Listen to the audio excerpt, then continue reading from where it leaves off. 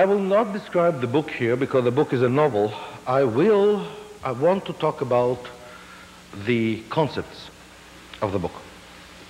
The book is called Necessary but Not Sufficient, and in my eyes, what I've tried to uh, portray in that book is technology. How should we use technology?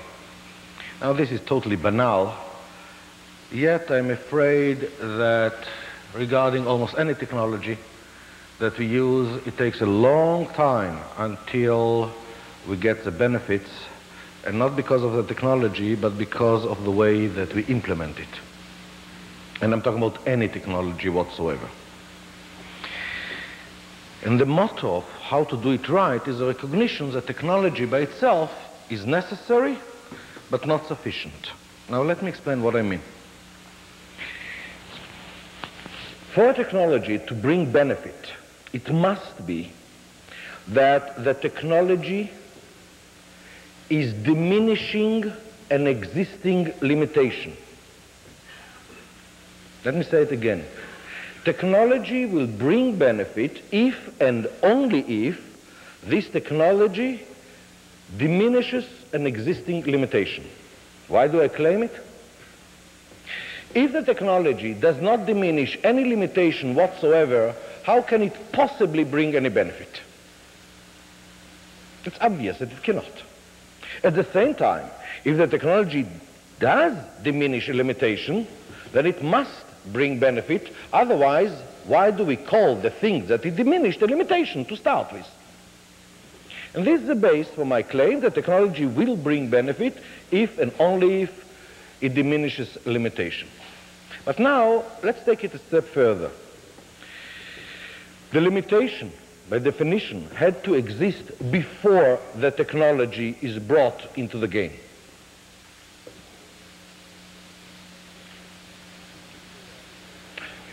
What do we do when we have limitation? What we do is we live with it until we solve it.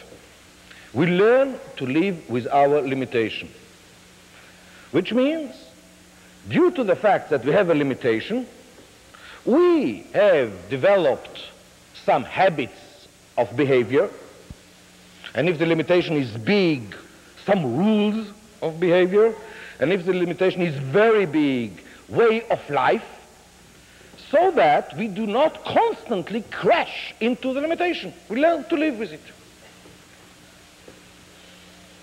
For example, before we had trains and cars, we had a limitation. And the limitation was that it was, for all practical purposes, uh, not really feasible to do more than 40 kilometers, sorry, I'm in the States, more than 25 miles a day. And because of it, our way of life was that our living distance from the place that we worked was usually no more than one hour walk. That was the way of life. And that's how the whole world has been done. By the way, how many of you today leaves more than one hour work from your working place? A lot. For, my, for example, in my case, I live about uh, two years walking distance from my working place. Not to mention swimming distance. now, look what's happening. Suppose that we implemented the new technology. And we implemented it very nicely, what we call very nicely. We implemented it so that the limitation was diminished. But we did not address at all the rules that we have, the rules that acknowledge the existence of the limitation, the rules that enable us to live together with the limitation. And we don't touch them at all. Will we get the full benefits that we should have get from the technology? And the answer is definitely not. These rules are bringing back the limitation for all practical purposes. Let me give you an example to see to what extent it, it, this phenomena exists. And all my examples I will take today from computer systems. Here in, in some way I'm closing a circle. The work of TOC have started with scheduling software. Yes, that was 20 years ago. Then in 86, it was kiss goodbye software, let's do the real things. Now, I'm saying, no, no, no, it's about time to bring it back, so I'm closing a circle. I'm now going to talk again about computer software or computer systems and how to really get the benefits from them. So I will go back now, and in order to demonstrate these concepts that I've just told you, let's take the field and the era of MRP. I know this era very well because that was a time that I went out of the university into the real life, and I'm talking about the early 80s, the MRP crusade. How many of you know or heard about MRP? Please raise your hand. Beautiful, all of you. What was the limitation that the MRP was really trying to address? As you're going to see, my question today, whenever I see technology, the first question is, what limitation does it try to diminish? So, when we are talking about the MRP, what was the limitation that the MRP have tried to diminish? And in my opinion, the limitation was the speed to do net requirement. Now let me explain, even though you know about MRP, doesn't mean that all of you are experts in it. Let me explain this concept of net requirement. Suppose that we get an order from a client. And our question is, what should we produce? What should material should we order in order to be able to supply the order? So the first thing is, when we get the order, is to look whether or not we have already the finished product in our warehouse. And because if we have, we don't have to produce anything and we don't have to order any material. We just have to take what we have and to ship it. So the first thing is to take the order and to net from it the amount that we have in finished goods. Hopefully, if we have all the amount, then we finished. If we don't have all the amount, we have to take the residual.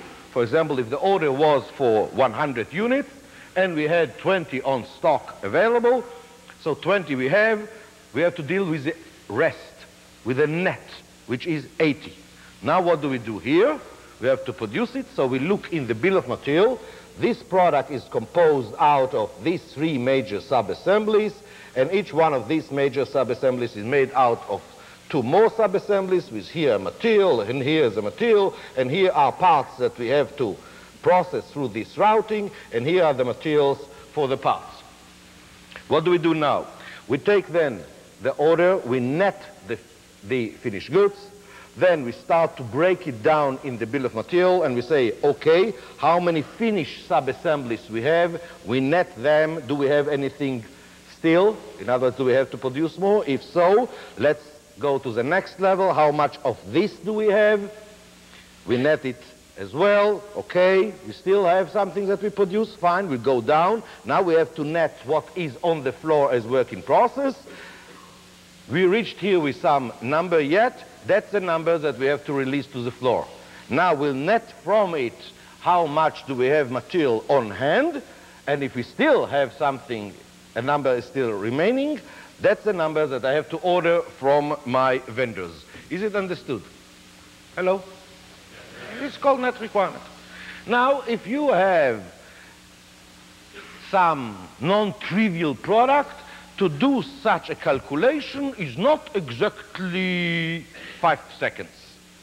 By the way, look on how many possible places I have here for mistakes. Quite a lot.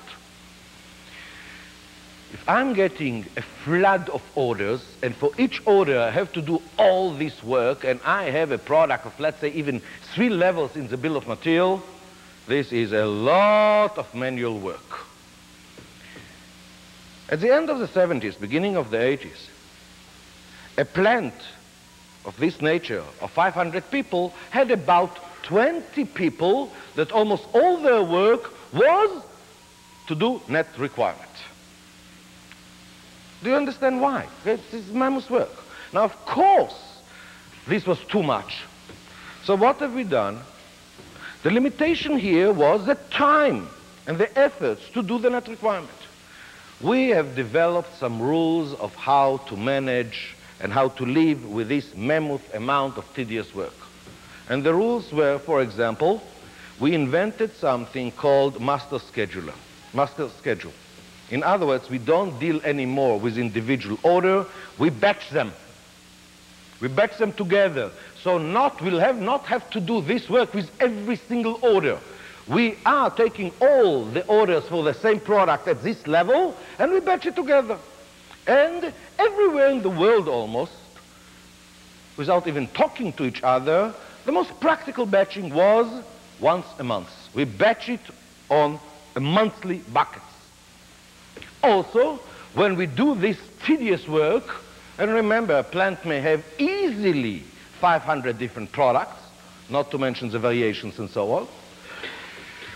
The rules almost everywhere was you do net requirement once a month. Yes, we knew very well that due to that, the inventories are much higher, and we knew very well that due to this mechanism, we are jeopardizing our ability to react fast to an order.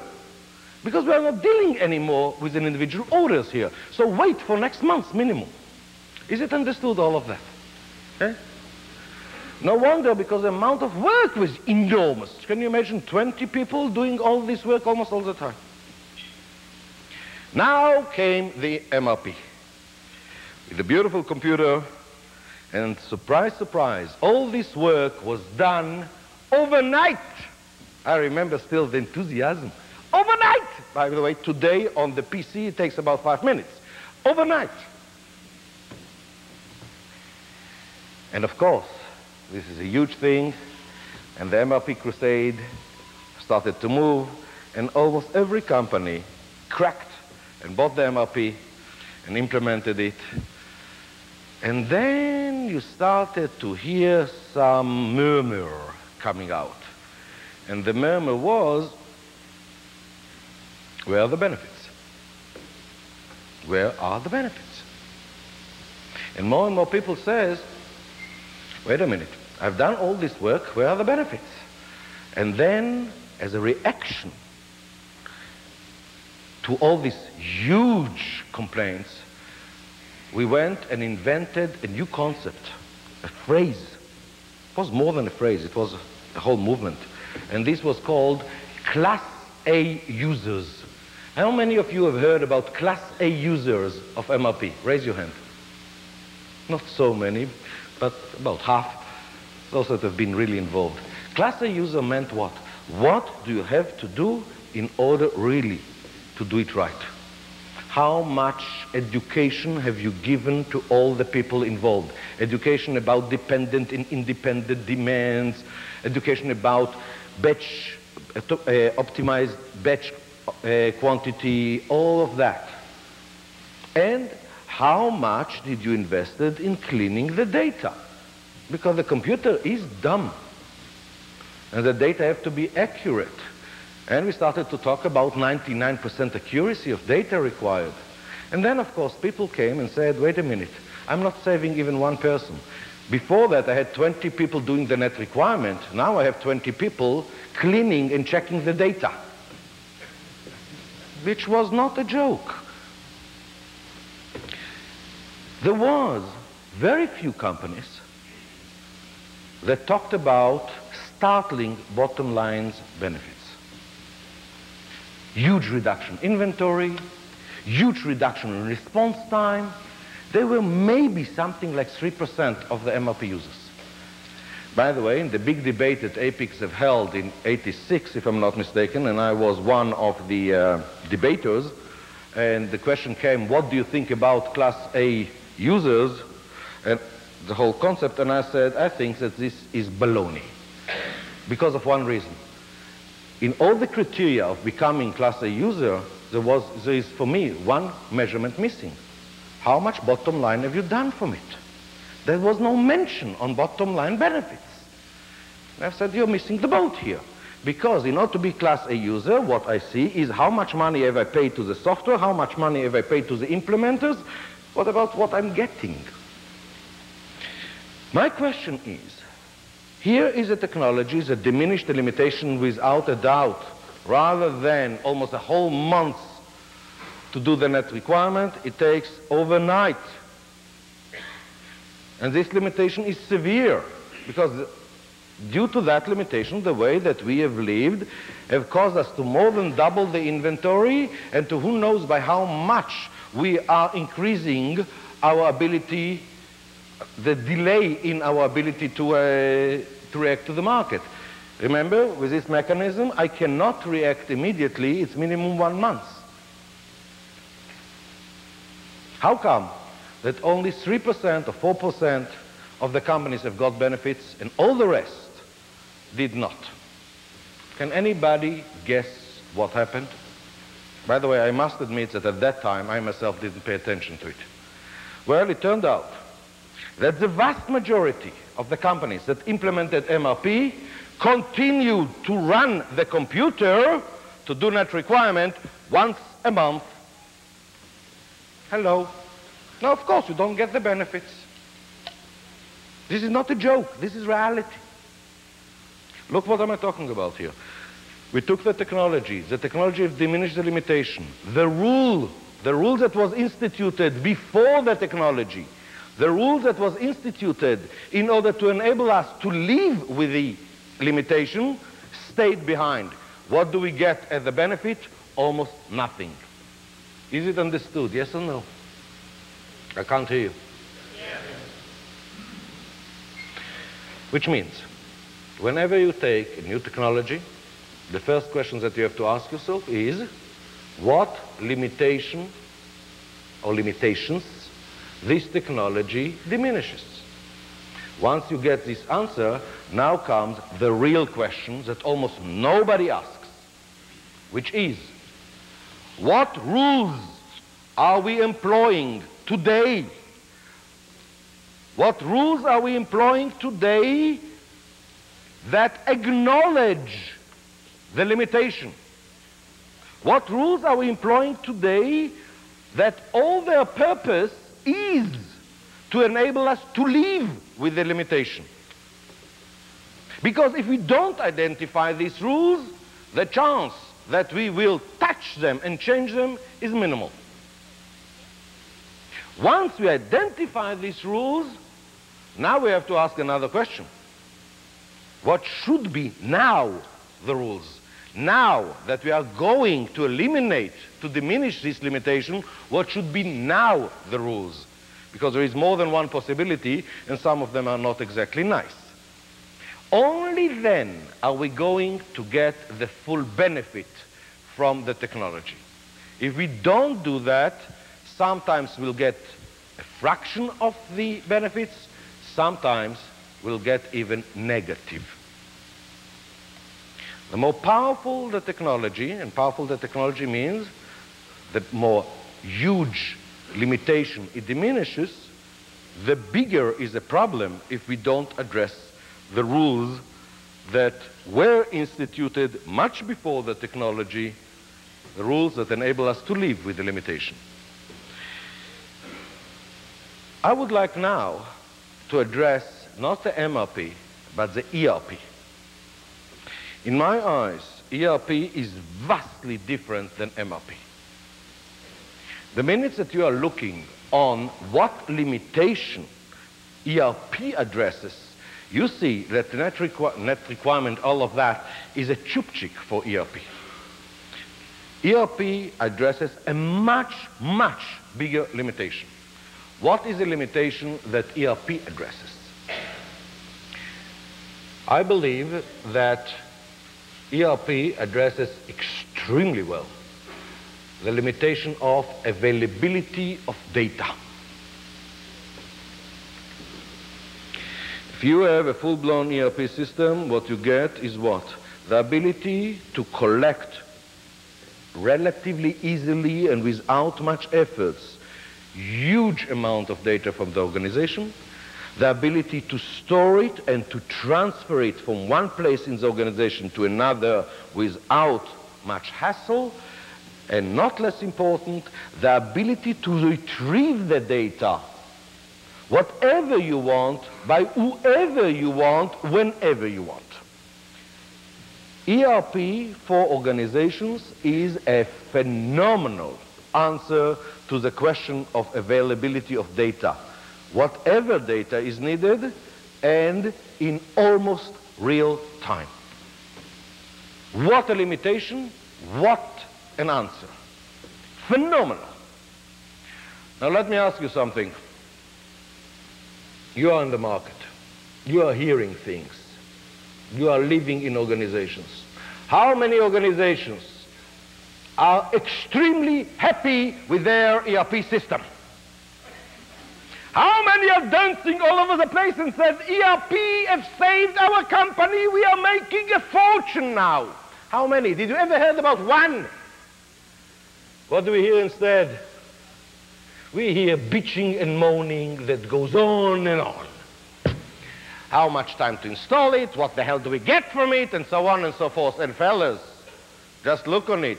The price to install an ERP is not exactly some peanuts.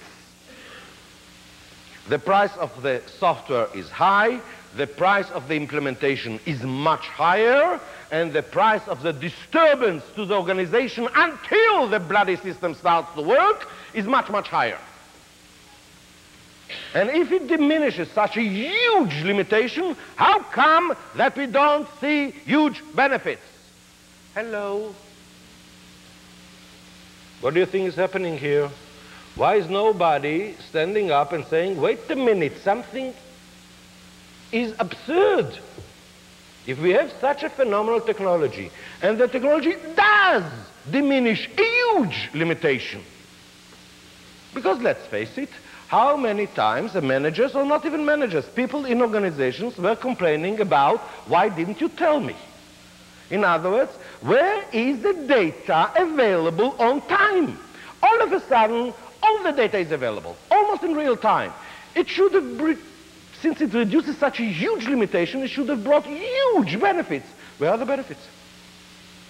Where are the benefits?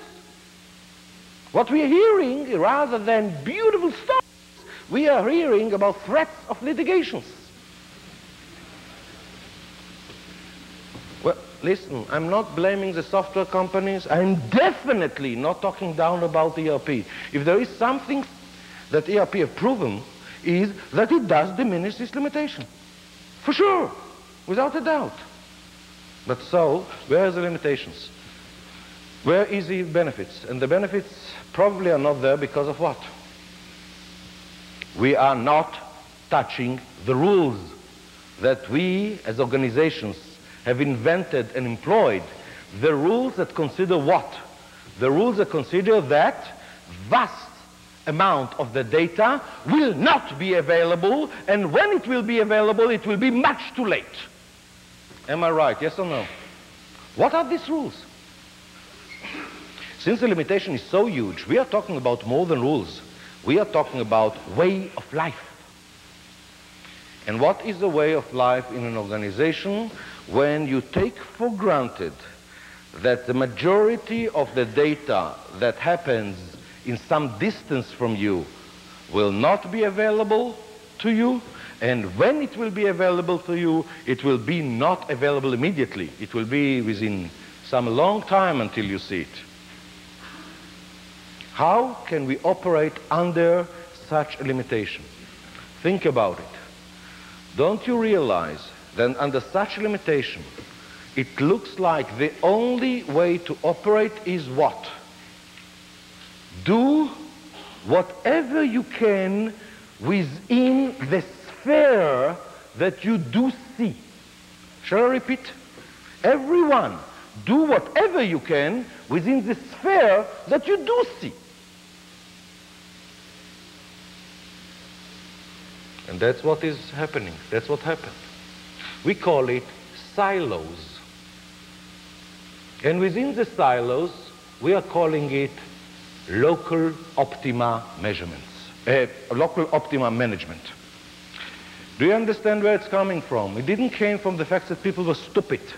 It came from the fact that people acknowledge, I don't know what cells have done today, and I will not know it today, and probably I will not know it for a few weeks sometimes if you're talking about large organization. But I have to decide what I'm producing today. So let's build the silos. Let's do whatever I can within my frame.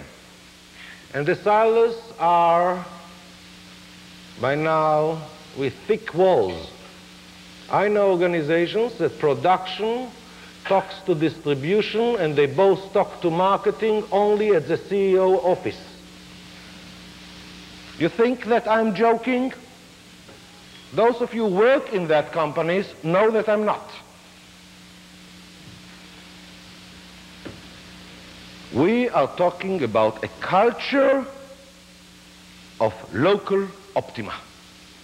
Not because people were stupid, but because that was the obvious way when you cannot have enough data on what is happening in the whole system. So if you cannot know what's going in the system, do what you can uh, within the scope that you do see.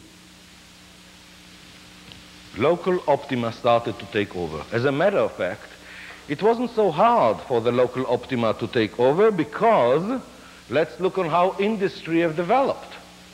Industry did not come full-fledged in existence in the world. Not like armies that already from prehistorical days we were talking about hundreds and thousands of people that have to operate as one in the industry didn't start it like that. Where did the industry start it? It started from the Meister from the individual with some helpers, and it grew from there.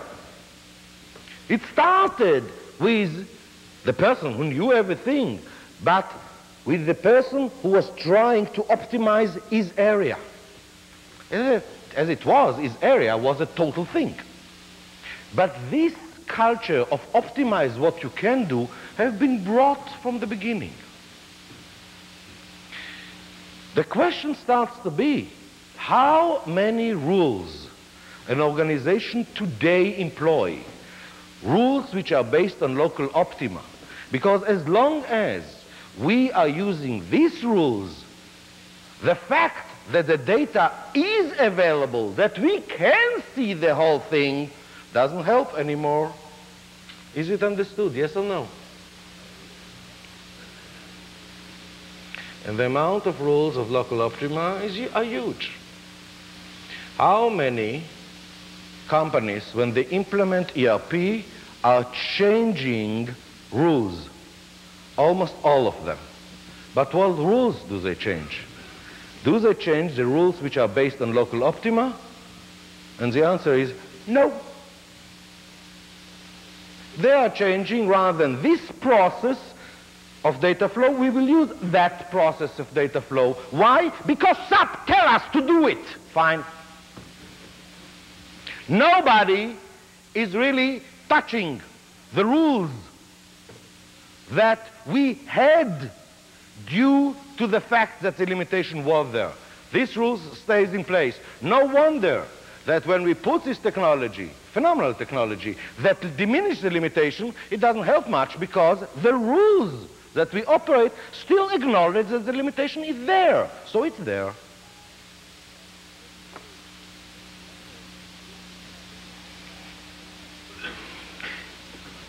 In this field, it's not easy at all to change the rules due to the fact that in this particular case, the rules are the rules of local optima. And there is something else that supports local optima to the sky. And I'm talking about a different culture, a culture that exists three, since probably people were born. A culture that exists that dominates how people should behave, but do not dominate technology. There are two different cultures here. One culture is a culture that says, a cent plus a cent plus a cent plus a cent plus a cent plus a cent accumulate to a nice fortune. I don't know about you, I was raised to believe in that culture. My parents raised me to believe in it. My teachers raised me to believe in it. What about you? Have you been raised in the same way? Yes or no? Yes. Sometimes to the extent that I was told, you must finish this piece of bread. And the reason was because people are starving in India. Until today, I couldn't figure out how. By the fact that I will finish it, people will not starve in India. save, save, save everywhere. Don't you realize that this is a culture of everything counts, of save every cent, of local optima? There is another culture, also very ancient, and this is a culture that governs technology. In technology, we are not talking about a cent plus a cent plus a cent plus a cent plus a cent accumulate to a fortune. We are not talking about that at all. I believe that the first one that probably verbalized it, who knows what he really said, but the legend is that this person said, give me, give me, or he said, if I can find a leverage point, I can move the earth. This guy was Archimedes. He's not talking about a cent plus a cent until we reach the result. He's talking about reaching huge result within one shot. The opposite of the other culture. By the way, when you're coming to a person like Bill Gates and asking, do you believe in a cent plus a cent? That's how you, you've built $50 billion? He says, probably will answer you, I'm too young for that.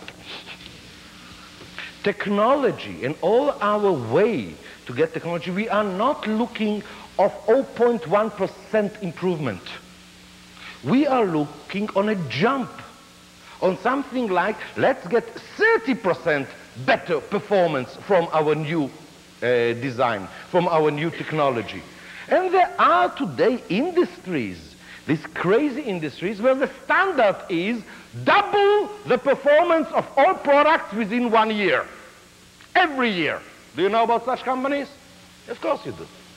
By the way, these same companies are not saying, let's double the performance of our net profit every year as a standard.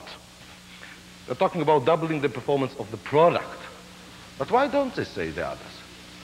Why don't they say, let's double the performance of our net profit every year? For year and year and year and a year after year, 10, 10 years as a standard. Because probably when we are coming to the organization, even in technology-driven companies, we are still thinking in terms of a cent plus a cent plus a cent plus a cent. I came to realize how deep is this conviction just three months ago. I was asked to participate in a conference organized by Industry Week. And this conference was in order to announce the 10 best plants in America.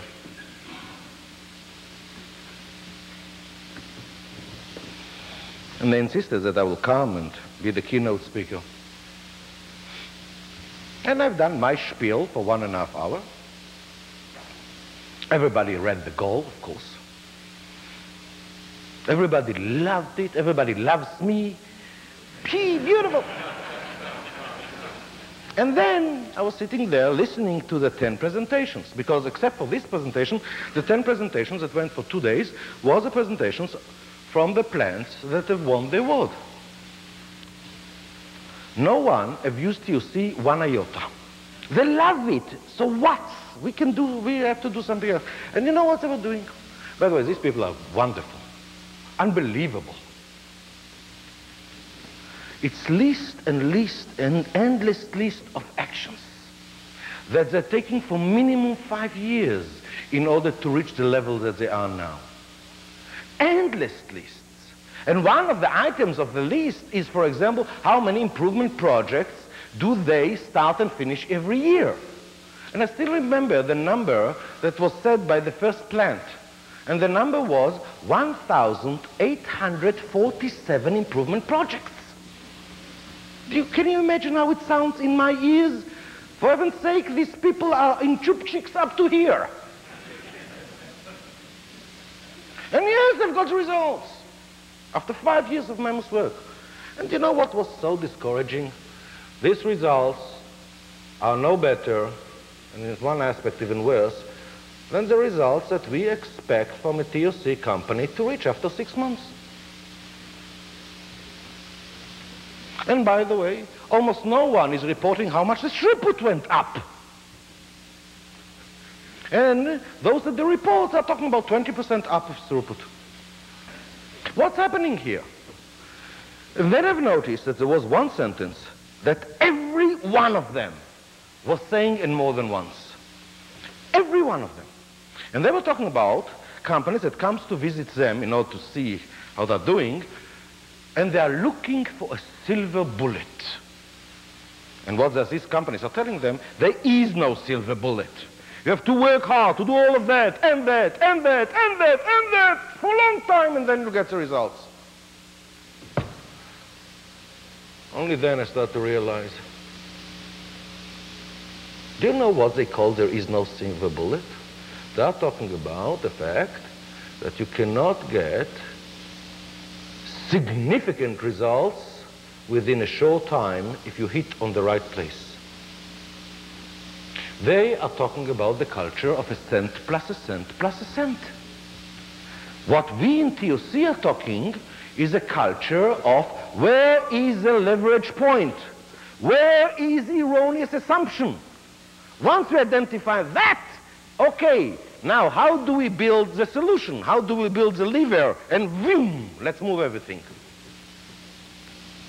Total different culture.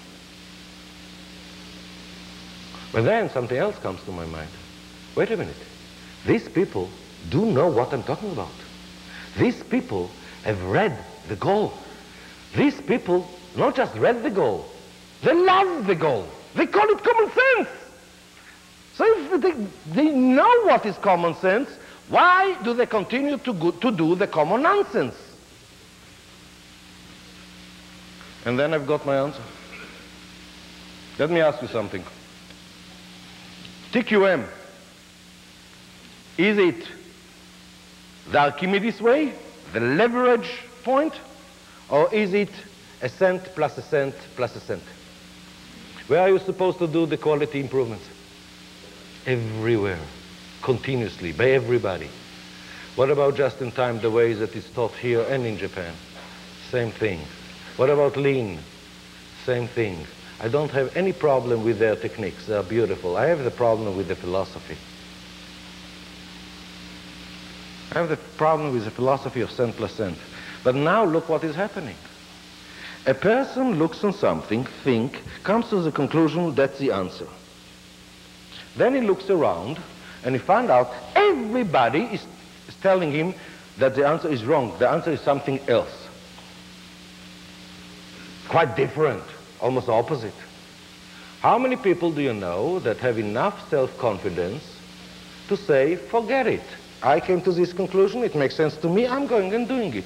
How, what percentage of people do you think exist with such high self-confidence? Hello? 2%? 1%? This is about the percent of the companies that reach the goal and implement it. 1, 2%. The rest reach the goal, say it's beautiful, and do nothing. You know, for a long time I'm saying already that I have the impression that the goal is a Bible of industry, of production. It is a Bible of production. Everybody believes in it, almost nobody is doing it.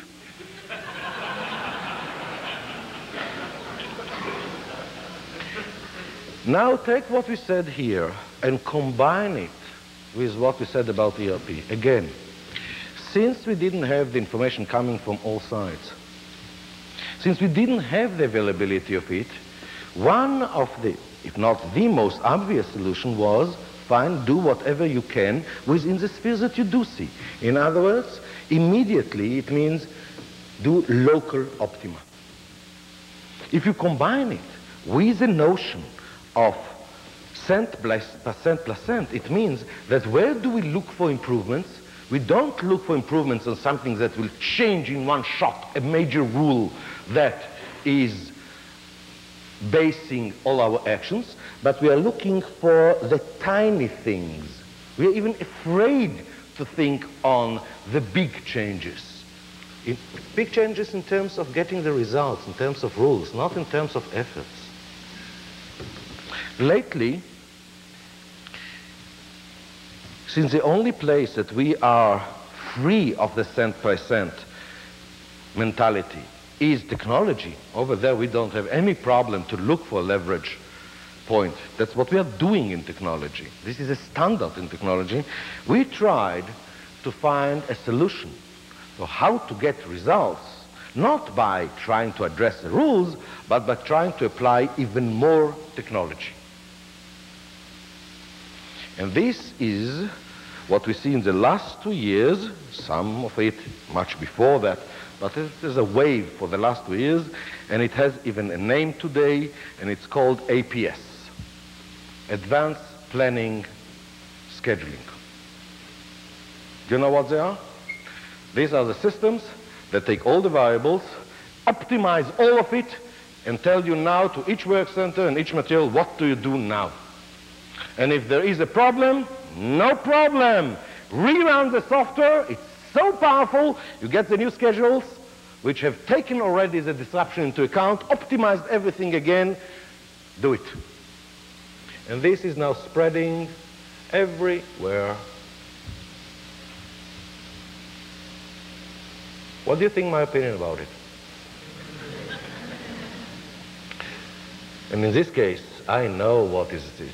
You see, one of the first, if not the first, APS and in my opinion, something which is on a level that was not yet reached again, was the software that I've started my journey into this field. It was called OPT. I don't know how many of you remember it.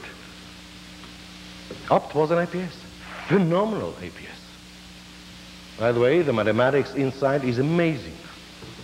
It's a way to achieve a practical optimum, which is a a notion that I had to explain to mathematicians, a practical optimum by doing optimization in 11, and 11 dimension space. Okay? It's really sophisticated. And it worked quite nicely, and I dumped it like I don't know what. And not because of that. You see, first of all, my, the concept is bothering me. If we did reduce the limitation, if we eliminated it, how comes that we don't get the benefits? Let's think about it rather than throw even more technology into the game. And we know now that by simple logic, it happened because we don't address the rules. So why don't we address the rules? And what brings us to believe that if we don't address the rules, then more technology will compensate for it to the extent that it will behoove us? Now this APS thing is even worse than most people think simply because most people don't know even how to check their claims. What they say is, I took everything into account, and this I can show you. We have took 300 work centers into account, four plants together even, all the routing, all the bill of material, all the existing inventory. Whoosh, we've done a phenomenal optimization. Here is the best schedule. They can prove almost every word except for one word in what I've said. They can prove that they took all the resources into account. They can prove that they have considered all the inventory in all the places. They can prove that they did look all the plants together. And they can prove it easily just by showing you that if you change any data, the schedule will be affected in accordance. They cannot prove one point. They claim that the schedule is the best. As a matter of fact, they cannot prove that the schedule is not lousy. They can prove that the schedule fits the data. But is it good or bad schedule? They cannot, and they don't try even. They just tell you. But how can you check whether or not the schedule is good or not? Because what they tell you is, you don't believe me? Fine, here is all the data, do it by hand. I know, I've done the same 20 years ago. Well, if you really look into it, you find out there is an easy way to check and to show to what extent all this notion of these huge optimizations is wrong and does not lead to good benefit. It leads to even worse results. Unless, of course, it's done properly. Because they have clients that will tell you we've got huge results. About 5% of their clients. Go and check what the clients have done. These clients that got results are using the APS not according to how they were told to use it, but they're using the APS to implement a version of drum buffer rope. Each one of them. Because if you are looking around, MRP to force it to do drum buffer rope is much more difficult than to force an APS to do a drum buffer rope. And that's where the results are coming. But if you look on it conceptually, look what is a mistake and how to go and expose it and do it. Take any example. Run it on APS. One of the things that APS is trying to do is to minimize the number of orders that are not going to be delivered on time. So in order to check the APS, take an example that has at least one bottleneck. And if it has a bottleneck, a real bottleneck, then of course at least one of the orders will not be able to finish on time. Is it understood? Yes or no? Eh? Okay. take such an example. And they will show you, okay, this and this, let's say two orders cannot finish on time, and this is the bottleneck, and here is the amount of time that you have to add in order to bring the orders on time. And that's very nice. But now, do the following. Schedule one day maintenance on the bottleneck. The software, every APS software, is, is capable and strong enough to take such input. One of the, the bottleneck is out for one day. Maintenance. Now you tell me, what do you expect that will happen if we took a situation where two orders did not finish on time, every other order finished on time, and we have killed the bottleneck for one day. What must be and should be the impact on the schedule? Come on. The two orders that were late will be late by additional day and the other orders that finished earlier will not finish as early. And maybe one order will cross the, the line by what, from the day before to day after. And this is if all the orders have, are moving through the bottleneck that you've killed one day on it. This is what you expect, and this is what you should expect. And this is the logical answer. And then run it on the APS, and then you'll get the shock of your life. Because the result will not be what we said. The result will be that the orders which are late, at least one of them, is not late anymore, and instead two others are late. Shuffle. Hello. And then you ask them, and they will tell you, you see, we have acknowledged the problem and we've created a new action schedule. What's excellent about it? Just yesterday, I told the client I will ship it to you on time, no problem, and today I have to come to him and to say, sorry, you'll be late. And another client that already told that it'll be late, all of a sudden it will be early. Boom! And by the way, what am I afraid? Tomorrow, another disturbance will happen, and once again everything is shuffled. Where is it coming from? This crazy answer, this crazy situation. It's coming from inherent in the logic of how the APS is built. See, what is the logic of APS? We want results, which is beautiful logic. What is the result that we want? We want more throughput with less lead time and inventory. In this sense, the APS is already much more in line with TOC than anything else.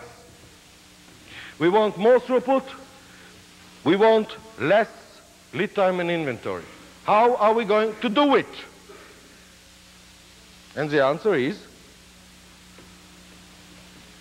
let's optimize much better. Let me show you what I mean. Look on the conflict that we see.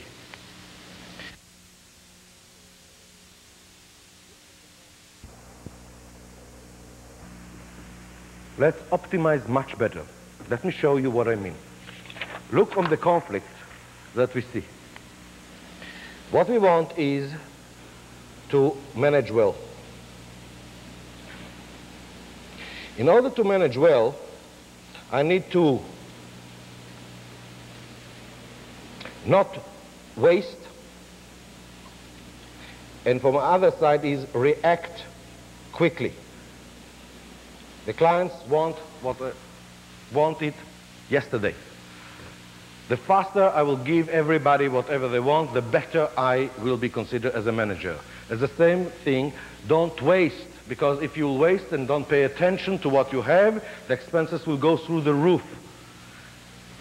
This, in order to, to react quickly, means have lot of spares. Correct? Of everything, of material, of people, of, what, of machines, then you can react on the spot. But not waste means don't have, don't have spares, but let's say a lot.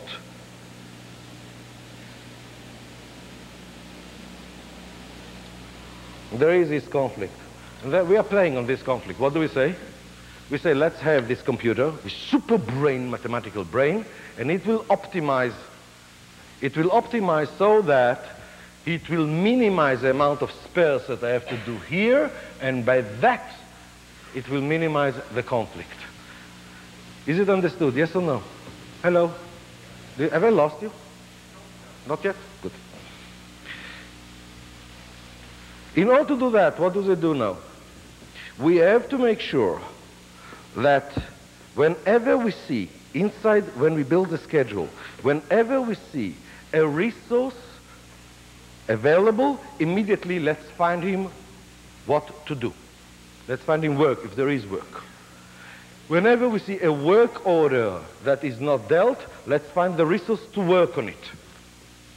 In this way, I can minimize the amount of spare capacity that I need, and at the same time to minimize lead time. Is it understood, yes or no? This is the way it's working. Now look what is happening due to that. Due to this concept, suppose that I am starting the schedule with one small change. And the change is one stage on one work order is not finished relative to it is finished. What is this small change causing. And by the way, this is something that happens all the time. It's not even Murphy. If it is finished, then a resource will be assigned immediately to the next operation. And due to that, whenever it's finished, another resource will be assigned to the next operation after that.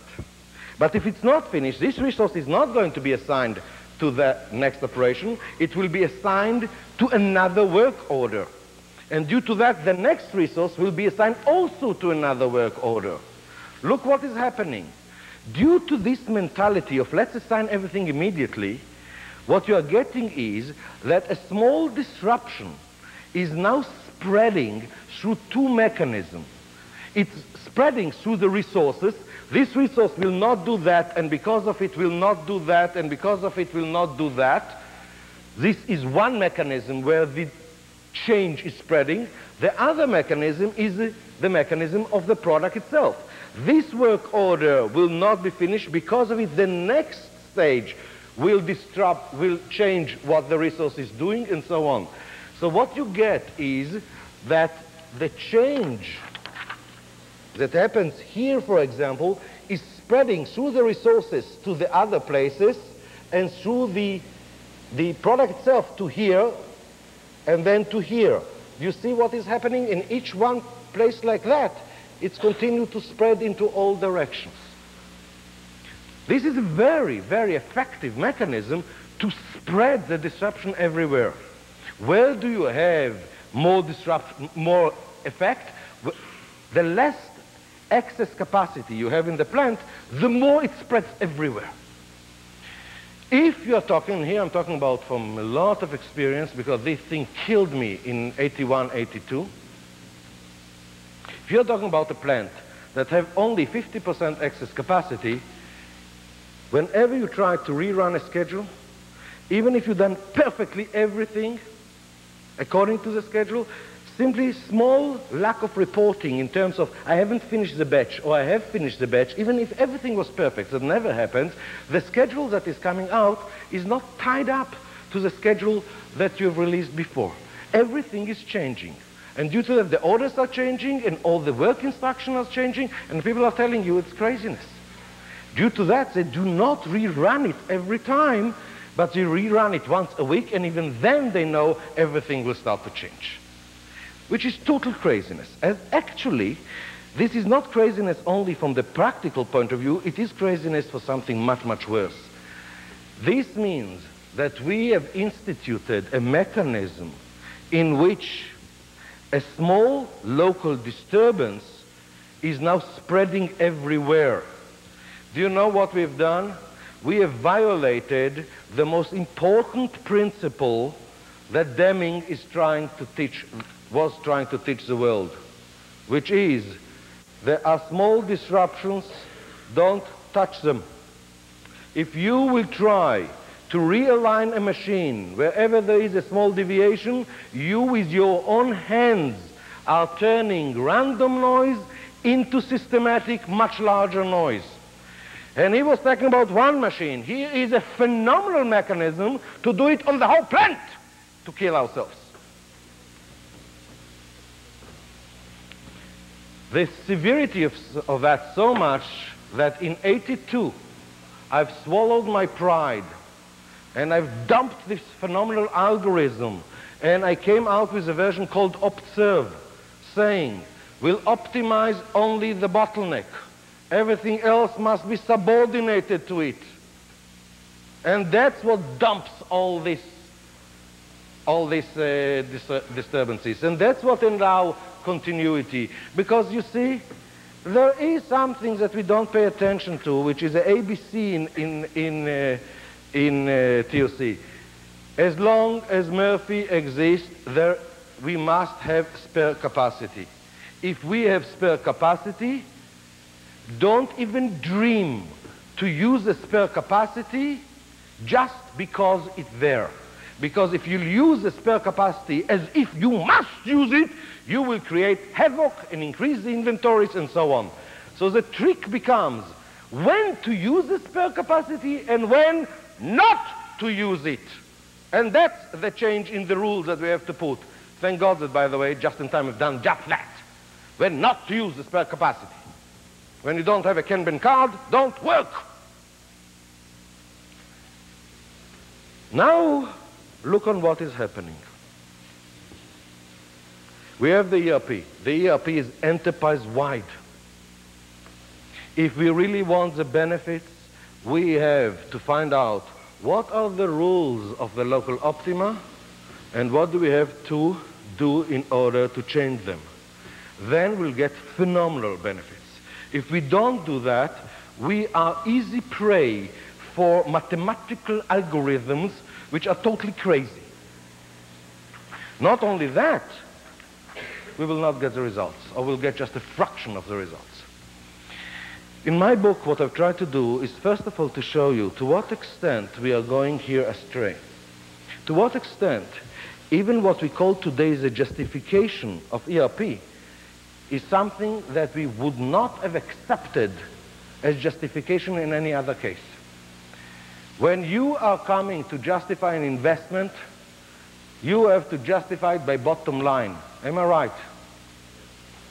When you come to just to, to justify an ERP system, all of a sudden justification like better visibility into operation is good enough. And when you really take all the items, and by the way, I've took the items of the most respectable companies, the items of how do you justify ERP. And you take them and you try to transfer them to bottom line, you find out many are not translatable, some are, but then the proof is in the book, something which is dreadful. It shows that if you are a company above a billion dollars, in about above a billion dollars, then the ERP will give at the current stage with your wrong rules, it will give benefits to cover the entire cost of implementation. It will cover itself around three years' time. But as you go below the $1 billion, the justification is reduced so quickly that it's unbelievable. I don't believe that when you reach the 500 million that the ERP justify itself anymore. Remember, I don't say that we shouldn't have ERP. I'm saying that as long as we are so dumb as not to take the benefits from reduced limitation by changing the rules, the anachronistic rules that we still have, under that situation, ERP does not justify itself in a company of less than $500 million a year. Not at all. Then come the point of fine. If we are willing to change the rules, comes the second question. Is the ERP, as it stands now, suitable to support an organization with the new rules? For example, ask yourself what ERP will support a just-in-time production environment. And you'll find out most ERPs will have, will have to go through a major hiccups, and they will not really support it, not fully. And if we are talking about which ERP system, full ERP system, is today supporting drum buffer rope buffer management, what is the answer? Zero.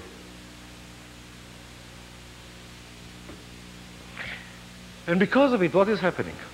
Either we say, okay, we have the ERP, and now we have a private system on the side that we do with Excel and so on. Or we buy some sophisticated APS and we torture it to, do, to become a, a drum buffer rope, and we put it so that it's somewhat interfacing with the ERP. Why do we have to go like that? Especially when we know one thing. Damn it, in two years we'll get a new version. What are we going to do then? Start again everything?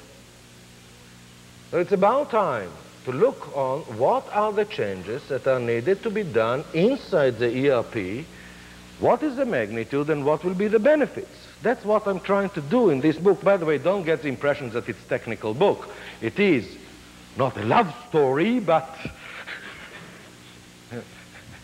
what I've tried to do in order to make things witty and so on what I've tried to do is to address two uh, issues that might be of interest to you. One is, what is a life in a NASDAQ company? We know that the NASDAQ companies are quite different than regular companies. I'm talking about the super high-tech companies. Okay? What is a life there? Why is it so up, down, crazy, and so on? the lifetime, the, the, the, the speed in which things happening in those type of companies, I would say that what is happening there in three months is equivalent to about what happens in regular business or regular industry in three years. And to understand what is the meaning of it, what is the environment, how do they operate, and so on, this is the background of all this book, which compensates for things like that. Okay? of the proof of why APS will not by definition work and what to do in order to make it work. The other thing is I'm analyzing the history of the ERP company. The heroes of the book are not plant manager and his staff. It is the CEO of a software company and his staff. And I'm analyzing the period of uh, 98, 99. At the beginning of 98, ERP was the most hottest things in the investment community more hot than the internet today. You could have raised whatever amount of money that you wanted for the ERP. In the middle of 99, you couldn't cause an investor to touch an ERP company with a 10-foot pole. What the hell have happened? Okay? Now, people say, Y2K. So what? What really happened? So this is a full analysis. Okay, through the story, you see exactly what happened, why it must have happened, and the second half of the book is, of course, fiction, because the second half of the book is the solution and what the company could have done in order to make it huge success and take over everything, something that did not happen in reality because no one have implemented the solution. But the solutions that I'm talking about is what? Understanding what are the rules that has to be changed, what are the anachronistic rules that becomes anachronistic due to the fact that the ERP is diminishing a limitation, what does it mean in terms of what changes has to be done in the software? My estimation is that if you are taking a full-blown ERP about 3% new code has to be written, and about 40% of old, old code has to be erased. That's it. And then it's working beautifully. By the way, it takes much, much less time to erase code, but it takes much, much more time to convince programmers to erase code. So over there is a real battle, not on the writing of the 3%, which are like, for example, uh, how do you tie up correctly? How do you force the APS that is needed in so many places in order to optimize the bottleneck? And in the book, I'm showing where is it essential to optimize the bottleneck and where can you do it manually. And how do you tie it into the ERP rather than trying to schedule everything in accordance in the APS way. This combination of the APS working on the bottleneck and the ERP doing everything else is by far better than the APS alone. At the same time, we need a new piece of code, like, for example, the buffer management, which does not exist at all. Okay? All of that is what is coming out to be the 3%. But then, a major part of the, of the, of the software which is missing is the measurements. The measurements are, that the ERP are giving us, is according to the measurements that we use today, which are basically cost accounting based measurements, yuck. You all know the problem. What you don't know, and it was not enough emphasis in my previous books, even though I wrote it here and there. Ladies and gentlemen, when you are dealing with a part of a company, a link, and this link have to guide what it should do. TIOE, throughput inventory operating expense, are the name of the game in terms of guiding decisions and so on. But when we are dealing with relationship between links, with the silos, or relationship between companies, in other words, the supply chain, the operational measurements the key here is not throughput, inventory, and operating expense, which of course have to be the ruler from the top. The key is the throughput dollar days and the inventory dollar days. They are the key to enable a smooth functioning of a chain, either internally or externally. All the proof of it and so on is in this new book. Now, how many of you know about throughput dollar days and inventory dollar days? Raise your hand. Okay. About half. I wrote about it quite extensively in the past, but I never wrote to what extent these are the key whenever you're talking about a supply chain. There is a huge problem in a supply chain. The biggest problem in a supply chain is that one link don't exactly trust and love the other. And trust is nice as long as we have excellent measurements to act as a watchguard. What are the measurements that we need to employ so each link can trust the other? And these are the throughput dollar days in the inventory dollar days, and it's about time to start to use them on a major scale. Essential. Don't hold your breath it will take about two months or three months for my publisher to bring the book out. It does cover all of it, and then it shows the practicality of what I think, how the whole field of the software for organization should be done. There is another huge dichotomy out there. And I'm now talking from the point of view of the clients. I'm a company. I'm coming to, be, to buy an ERP system. If I'm a very large company, I'm talking here about easily $50 million. Easily. I'm not talking about how much it will cost me really to implement it. And the damage of the disturbance in the operation, so on. At this size company, I'm doing investments of $50 million probably once a month. Big deal. Nevertheless, until I'm deciding on this investment in ERP, it will take maybe eight months, many committees, and I will still, when I decide, I will do it with butterflies in my belly. And why? Because one of the aspects that most software companies and hardware companies, especially software companies, refuse to even look at is to what extent this investment in a computer system is not like almost any other investment. As a big company, I'm making investments of this order of magnitude every month, but in what? In new companies, or in buildings, or in machines. In each case of such an investment, I have an asset. An asset that I can take to the bank as a collateral, minimum. Now I invested $50 million into a computer system. Do I have a collateral in my hand? Can I take the computer system that invested 50 million to a bank and put it as a collateral? Show me such a bank. They will laugh in my face. What do I have in my hand as an investment? Nothing. So the risk here is by far bigger. More than that, I know that if I'll come and want to sell it to somebody else, like I bought a machine and I want to sell it, or I bought a building, and I want to resell it, I bought a computer system, now I want to resell it, who will buy it?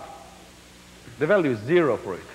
But on top of it, I have another problem. I know that even though I'm buying the state of the art, art software and, and hardware of today, in two years, what I have is old. Am I right? Yes or no? Hello? And then I'm starting to ask myself, I'm not buying anything anyhow. I'm not buying any asset. If that's the case, why should I buy it at all? Why won't I buy what it really is. It's not an investment, it's a service. So why won't we call it a service and pay according to service? I will give you the data, you give me back the information. Whatever my people want, to whoever wants it, whenever he wants it, in whatever format he wants. That's what I need it for. But I don't want to go through this mumbo jumbo of I'm buying thin air. I'm buying a service, pay Give me the service. And I will pay like I'm paying for a service on an ongoing basis. Gladly. Why won't we turn this field from a fiasco into something much that makes much more business sense? Is it better for the ERP companies? Oh, by far. Because one of the problems of the ERP companies is to what extent they're exhausting their markets. Because you see, you sold a company, an ERP. The chance that you can resell an ERP to that company in the next five years is not exactly high.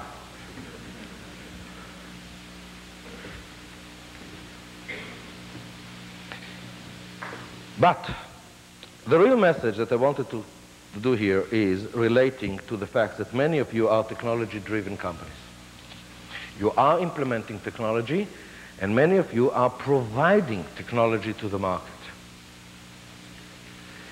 And many of you that provide technology to the market are complaining about marketing constraint.